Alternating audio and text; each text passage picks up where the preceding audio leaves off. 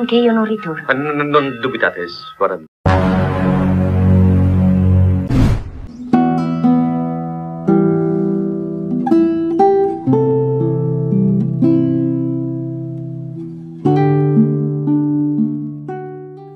Hai guys, gimana kabarnya nih? Mudah-mudahan semuanya tetap sehat ya. Seperti biasa, channel ini akan kembali membahas film klasik yang keren.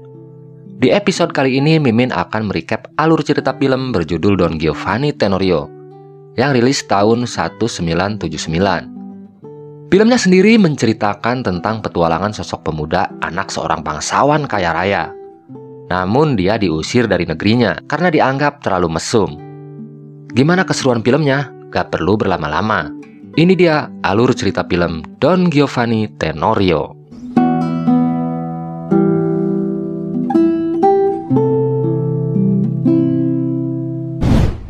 Cerita diawali dari rumah seorang bangsawan bernama Gonzalvo de la Vargas. Dia adalah bangsawan kaya raya yang berasal dari kota Sepila.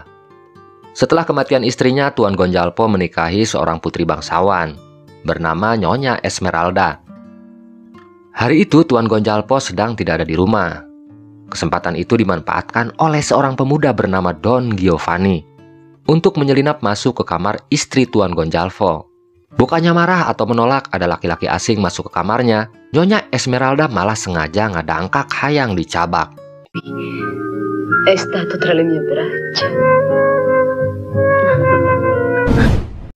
Sementara di bawah jendela kamar terlihat seorang laki-laki sedang membacakan sepucuk surat cinta. Dia bernama Peko. Mang Peko ini adalah asisten si Don Giovanni. Dia ditugaskan oleh bosnya untuk mengirim surat cinta kepada Putri Della Concetta. Della Concetta adalah putri dari Tuan Gonzalvo. Jadi ceritanya Neng Concetta ini mengidolakan Don Giovanni, pemuda bad boy yang dia anggap keren. Gadis cantik itu terlihat bahagia setelah tahu kalau pemuda yang diidolakannya ternyata menyukainya. Putri Concetta sama sekali tidak menyadari kalau si Giovanni justru tengah asik tutumpakan dengan ibunya. Skandal perselingkuhan Nyonya Esmeralda hampir saja terbongkar oleh suaminya, yang saat itu memutuskan untuk pulang lebih cepat ke rumahnya. Tuan Gonzalvo terlihat marah saat mengetahui putrinya menyebut nama pemuda bernama Don Giovanni. Dia pun langsung menyuruh putrinya untuk masuk ke kamar istrinya. Sementara Nyonya Esmeralda terlihat panik dan langsung ke trigger. Setelah mendengar suara makian dari suaminya, dia pun buru-buru menyuruh Don Giovanni untuk bersembunyi di sebuah ruangan agar tak diketahui oleh suaminya. Ma le bambine, ma le donne. E Concita colloquio con Don Giovanni. Con chi? Tuan Gonjalpo kemudian menasehati putrinya agar jangan berhubungan lagi dengan pemuda bernama Don Giovanni.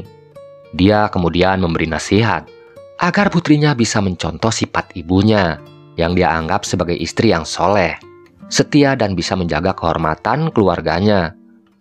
Namun saat hidung Nyonya Esmeralda sedang kembang kempis karena mendapat pujian dari suaminya, tiba-tiba Tuan Gonjalpo dikagetkan dengan suara berisik di dalam kamar putrinya. Karena curiga, dia pun bergegas membuka pintu kamar tersebut. Ternyata di dalamnya ada Don Giovanni yang sedang bersembunyi. Mia figlia. Voi vile fuggite per evitare uccidermi. Lasciate che vi. Tuan Gonjalpo benar-benar dibuat murka. Setelah tahu pemuda yang dia benci ternyata bersembunyi di dalam kamar putrinya. Merasa harga dirinya diinjak-injak, dia pun mengajak Don Giovanni berduel sampai mati. Namun karena tak berniat untuk meladeninya, Don Giovanni memilih kabur dengan cara meloncat dari jendela. Usahanya itu sempat dihadang oleh anak buah Tuan Gonzalvo. Namun akhirnya pemuda bejat itu berhasil kabur bersama Peko asistennya. Sementara di rumahnya Nyonya Esmeralda dan putrinya terlihat kompak langsung pura-pura pingsan. Agar suaminya tak jadi memarahi keduanya. Karena masih emosi dengan ulah putrinya, Tuan Gonzalvo berniat menghukum putrinya dengan cara mengirimkannya ke biara. Namun rencana itu ditolak oleh istrinya. Dia beralasan, sebentar lagi wali kota mereka bernama Tuan Gonzales akan mengadakan pesta besar di rumahnya. Itu adalah kesempatan bagus untuk mencarikan calon suami buat putrinya. A voi. Singkat cerita, pesta besar pun berlangsung di istana wali kota Sepila. Tuan Gonjalpes mengundang seluruh keturunan bangsawan di kota tersebut. untuk datang ke pestanya. Tak terkecuali dengan Don Giovanni Tenorio. Pemuda itu adalah pewaris tunggal ribuan hektar tanah milik almarhum Don Tenorio. Ayah Don Giovanni yang terkenal sebagai bangsawan kaya raya di Sepila. Namun sayangnya nama besar ayahnya itu harus tercoreng oleh kelakuan bejat putranya, yang dikenal suka meniduri istri tetangganya.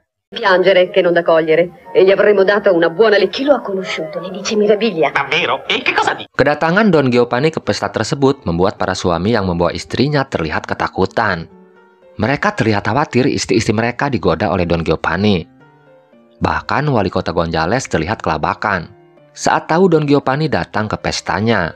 Padahal dia tidak pernah mengundangnya. Sudah bukan rahasia lagi kalau pemuda itu sudah berkali-kali kepergok selingkuh dengan istri orang. Bahkan kasus di rumah Tuan Gonjalpo gosipnya sudah viral di media sosial. Finora non ho avuto il piacere di venire da voi, ma non ne ho avuto il tempo. Gak butuh waktu lama buat Don Giovanni untuk mengacaukan pesta tersebut. Tanpa rasa malu, dia mulai mendekati putri Tuan Gonjalvo. Karena tak mau berkelahi di tempat umum, Tuan Gonjalpo terlihat hanya bisa pasrah saat Don Giovanni mengajak putrinya berdansa. Dia sempat berbisik di telinga putrinya agar secepatnya pulang setelah selesai berdansa dengan pemuda yang sangat dibencinya. Don Consalvo. Sarò sola a casa. Namun saat Don Giovanni membawa Putri Concetta berdansa, putri dari Tuan Gonjalpo tersebut malah menyuruh Don Giovanni agar datang ke rumahnya. Putri Concetta memberitahu Don Giovanni kalau dia disuruh pulang duluan oleh ayahnya. Tentu saja kesempatan itu tak disia-siakan oleh pemuda tersebut. Dia akhirnya menyelinap masuk ke kamar Putri de la Concetta saat Tuan Gonjalpo dan istrinya sedang merayakan pesta di rumah Bapak Wali Kota. Namun rupanya Tuan Gonjalpo sudah menugaskan anak buahnya untuk menjaga kamar putrinya. Sesampainya di sana Don Giovanni langsung disergap oleh anak buahnya. Beruntungnya Don Giovanni berhasil mengalahkannya. Rupanya Putri Concetta sengaja tidak menunggu Don Giovanni di kamarnya. Dia memilih untuk bertemu dengan pemuda itu di sebuah gudang agar pertemuannya tidak diketahui oleh ayahnya. Setelah bertemu, Don Giovanni langsung mengajak gadis cantik itu untuk bercocok tanam di atas tumpukan jerami. Tutti! Maledetti! Namun karena keasikan, Don Giovanni sampai lupa waktu. Akhirnya dia sadar setelah mendengar kode siulan dari Peko asistennya. Namun semuanya sudah terlambat. Kelakuan bejat Don Giovanni akhirnya diketahui oleh Tuan Gonjalpo dan istrinya. Setelah mendapat laporan kalau Don Giovanni kembali berani masuk ke kamar putrinya. Tuan Gonjalpo kemudian menyuruh anak buahnya untuk mengepung gudang yang dijadikan tempat maksiat. Namun sialnya, Don Giovanni kembali berhasil lolos dari tangkapan anak buah Tuan Gonjalvo.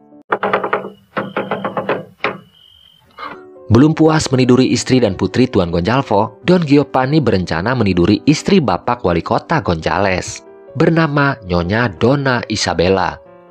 Dia pun mulai mencari waktu yang tepat agar bisa masuk ke kamar istri wali kota tersebut. Namun setelah berhasil masuk ke kamarnya, Don Giovanni mendadak mengurungkan niatnya untuk bercocok tanam dengan istri Pak Wali Kota. Mood pemuda itu mendadak hilang setelah tak sengaja mencium bau ketek istri wali kota tersebut. Padahal buah semangka Nyonya Isabella terlihat sudah mengeras dan membesar.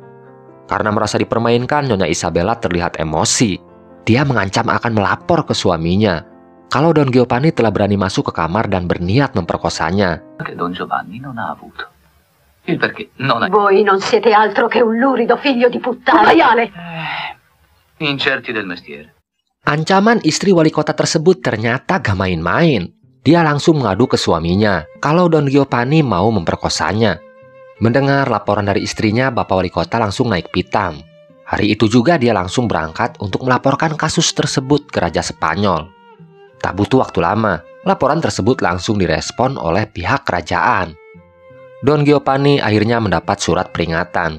Sebagai hukuman sosial, dia pun diusir dari kotanya. Avrai resto cosa fatta. Namun rupanya istri wali kota terlanjur sakit hati setelah Don Giovanni menolak diajak wik-wik olehnya. Nyonya Isabella kemudian merencanakan untuk membunuh Don Giovanni di luar kota Sepila. Dia mengirim pengawal kepercayaan suaminya untuk mencegat Don Giovanni di tengah hutan.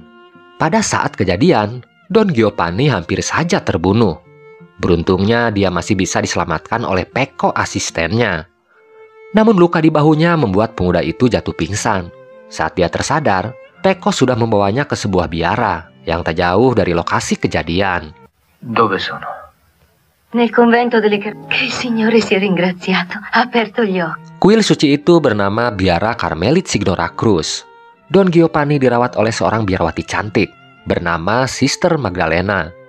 Awalnya Don Giovanni terlihat kaget saat tahu kalau dia sudah dirawat selama 10 hari di biara tersebut. Namun Sister Magdalena menyuruhnya untuk tetap tinggal di biaranya sampai kesehatannya benar-benar pulih seperti sedia kala. Sejak saat itu Don Giovanni mulai tergoda dengan kecantikan biarawati tersebut. Dia sempat beberapa kali mencoba mendekatinya. Namun Sister Magdalena selalu menolaknya Penolakan itu justru membuat Don Giovanni semakin penasaran.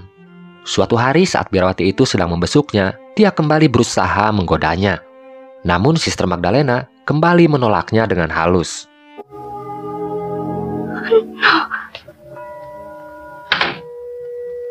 Karena merasa imannya mulai goyah, Sister Magdalena berusaha lari dan keluar dari dalam kamar Don Giovanni. Dia takut kebablasan, melakukan perbuatan dosa yang dilarang oleh agamanya. Karena sudah gak kuat, Sister Magdalena akhirnya berterus terang kepada Mother Superiornya. Kalau pemuda yang dirawatnya berulang kali menggodanya. Kenakalan Don Giovanni akhirnya dilaporkan ke Uskup Agung. Mendapat laporan tersebut, Uskup Agung terlihat murka. Dia pun berniat melaporkan kejadian tersebut ke Raja Spanyol. Mengetahui kalau Don Giovanni berani melakukan perbuatan bejat di tempat suci, Raja Spanyol akhirnya hilang kesabarannya. Dia pun menugaskan prajuritnya untuk membawa Don Giovanni ke istananya. Ah, Don Giovanni, dovete ringraziare la. Karena sudah berulang kali mempermalukan negerinya, sang raja memutuskan untuk mengusir Don Giovanni dari negerinya. Dia akan diasingkan ke negeri Mesir. Sang raja beralasan, di negeri tersebut Don Giovanni tidak akan bisa berbuat maksiat karena para perempuan di sana dijaga dengan peraturan yang sangat ketat. Tidak sembarang laki-laki bisa mendekati kaum wanita. Jika Don Giovanni masih nekat menggoda para wanita Mesir, dia akan terancam hukuman mati. Kedatangan Don Giovanni langsung menghebohkan negeri Mesir hingga kabarnya sampai ke istana. Salah satu penasihat kerajaan terlihat sedang memperingatkan rajanya bernama Sultan Harem. Kalau kedatangan pemuda itu akan membawa malapetaka bagi negerinya. Rupanya ketenaran dan nama besar Don Giovanni yang dijuluki sebagai pejina besar, kabarnya telah sampai ke negeri Mesir. E. Namun Sultan Harem terlihat santai. Mendengar kalau kerajaannya telah didatangi oleh pemuda buaya dari Spanyol. Dia pun memberitahu para penasehatnya kalau dia sudah punya rencana lain untuk memanfaatkan keahlian Don Giovanni agar mau membantu urusannya. Diketahui kalau Sultan Harem sedang tergila-gila dengan kecantikan seorang putri bernama Asia. Putri Asia adalah anak dari seorang kepala suku bernama Omar.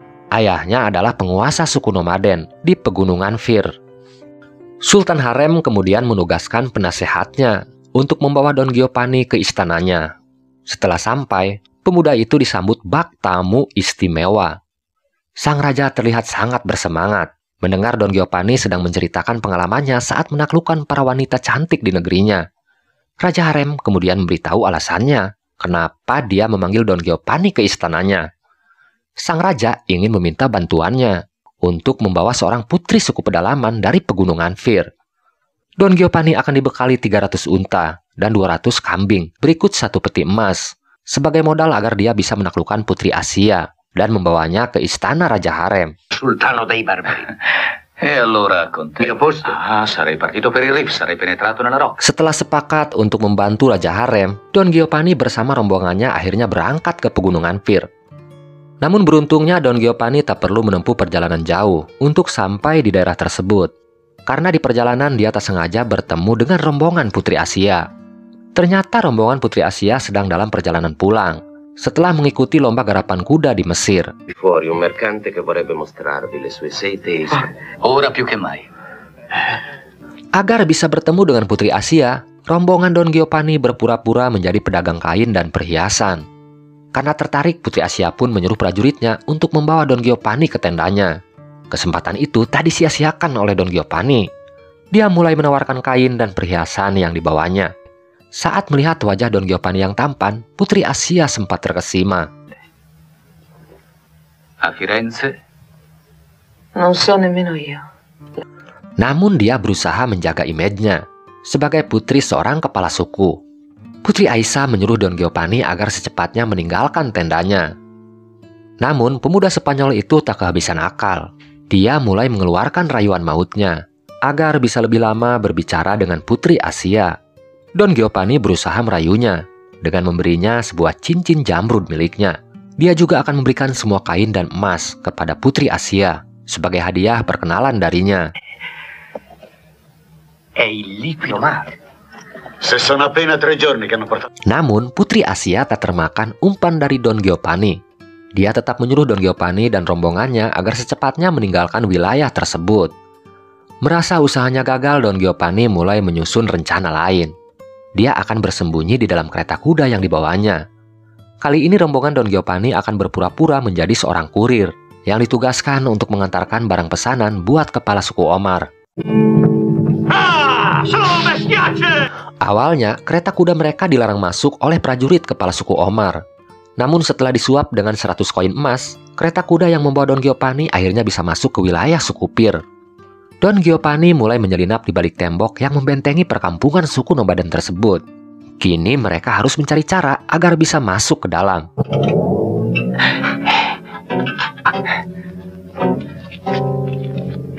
Sementara di kamarnya Putri Asia sedang dibujuk oleh ayahnya untuk segera menikah.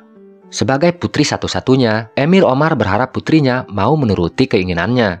Namun Putri Asia dengan tegas menolak bujukan ayahnya. Dia tidak mau menikah dengan laki-laki yang tidak dicintainya. Jika ayahnya terus memaksa untuk menjodohkannya, Putri Asia lebih memilih mati bunuh diri. Mendengar jawaban putrinya, Emir Omar terlihat kesal. Dia pun langsung meninggalkan kamar putrinya.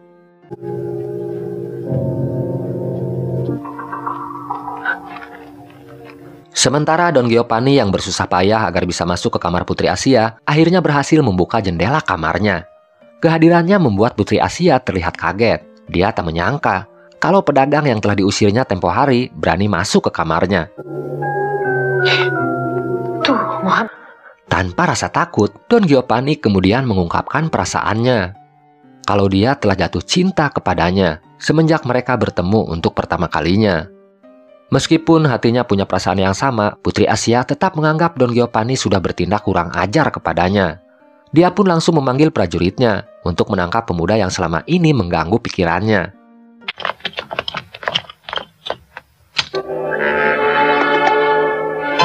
Mengetahui kalau bosnya ditangkap, Pek Peko asistennya Gercep memberi kode kepada teman-temannya. Dia berencana untuk menyelamatkan bosnya. Namun apesnya gerak-gerik Peko dan teman-temannya diketahui oleh prajurit suku Pir. Perkelahian pun tak bisa dihindari. Namun akhirnya Peko dan teman-temannya berhasil melumpuhkan prajurit Omar. Setelah sekian lama mencari keberadaan Don Giovanni, akhirnya Peko dan teman-temannya berhasil membebaskannya.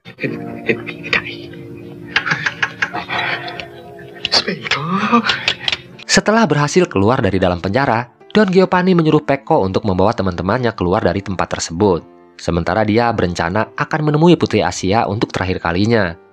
Setelah masuk ke kamarnya, Don Giovanni kemudian memberitahu Putri Asia kalau dia sebenarnya bukan pedagang dari Mesir, tapi seorang bangsawan yang berasal dari negeri Spanyol. E questo amore per te non lo fai. Don Giovanni kemudian memberi Putri Aisyah dua pilihan.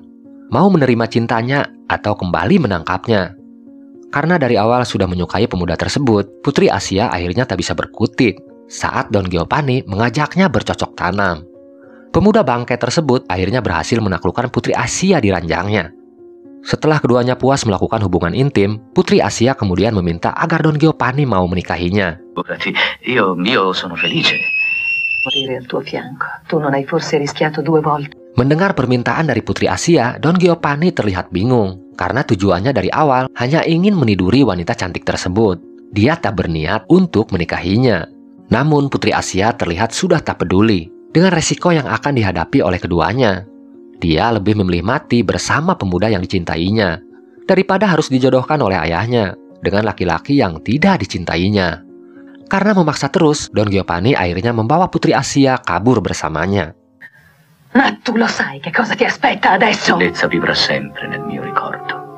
In Namun kedatangan Don Giovanni yang berhasil membawa Putri Asia ke negerinya justru tak membuat Sultan Harim senang. Dia ternyata sudah mengetahui kelakuan Don Giovanni yang sudah meniduri Putri Asia sebelum dibawa ke negerinya. Sultan Harem memberitahu Don Giovanni kalau dia telah mengirim mata-mata untuk mengawasinya. Dengan tegas, Sultan Harem menolak untuk menikahi Putri Asia karena dianggap sudah gak perawan lagi. Malang buat Don Giovanni, Raja Mesir itu memutuskan untuk menangkapnya. Don Giovanni dan Peko asistennya akhirnya hanya bisa pasrah saat keduanya dikerangkeng dan dilempari batu oleh rakyat Mesir.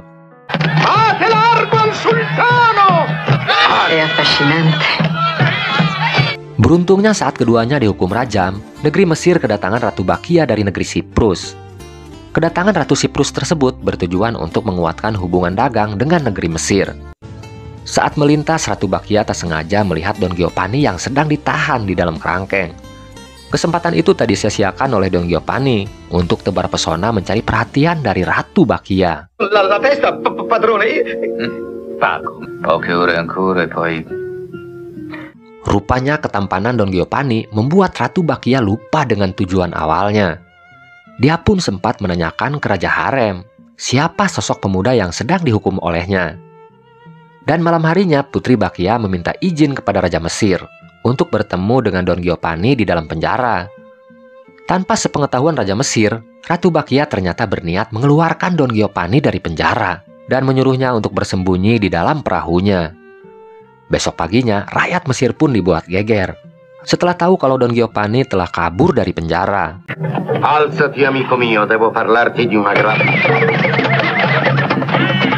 Kehidupan Don Giovanni seperti ketiban durian runtuh. Setelah dibebaskan dari penjara, dia dipanggil untuk masuk ke kamar Ratu Bakia. Sang ratu meminta balasan yang setimpal dari Don Giovanni karena telah membantunya lolos dari penjara. Ratu Bakia hanya meminta Don Giovanni untuk menikahinya.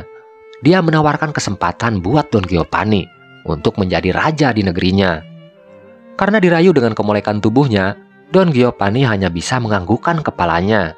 Sambil ngedangkak, Ratu Bakia meminta Don Giovanni untuk menumpakinya. Don Giovanni pun dibuat sampai ngaroroncot tuur setelah dipaksa melakukan hubungan intim secara maraton tujuh hari tujuh malam. Dove? Karena trauma pinggangnya dibuat sengklek, Don Giovanni pun berniat untuk kabur dari perahu Ratu Bakia. Dia mengajak Peko asistennya untuk meloncat ke tengah laut. Beruntungnya setelah seharian berenang di laut lepas, keduanya akhirnya terdampar di sebuah pulau. Awalnya Don Giovanni terlihat putus asa karena pulau itu sepertinya tidak berpenghuni. Namun tak lama kemudian, Don Giovanni terlihat girang. Saat di kejauhan dia melihat ada seorang wanita cantik sedang berjalan. Tanpa pikir panjang, Don Giovanni langsung mengejar wanita tersebut. Sementara Peko asistennya terlihat hanya bisa geleng-geleng kepala. Sambil memegang burungnya, dia pun bertanya di dalam hatinya. Kapan dia diberi jatah apem embem oleh bosnya? Cerita pun akhirnya selesai.